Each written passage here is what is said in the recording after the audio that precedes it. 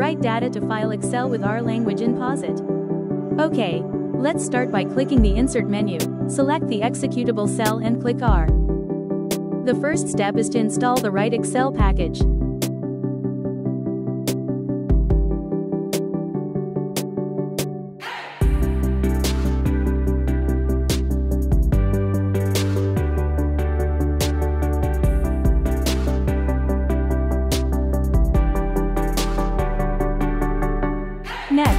Next, the Excel Write package that has been installed.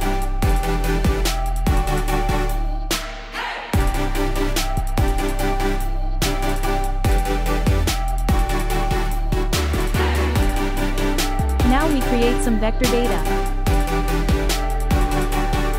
We create a name vector and an age vector.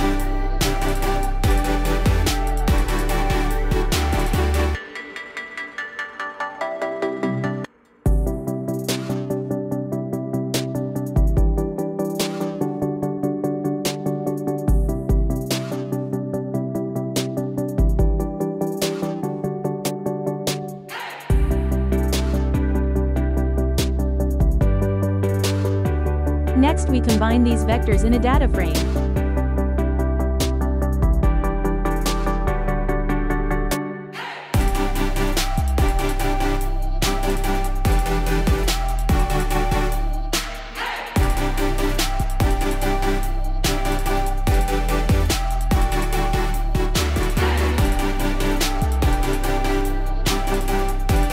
Last step is to write the data into an Excel file using the Write Excel library.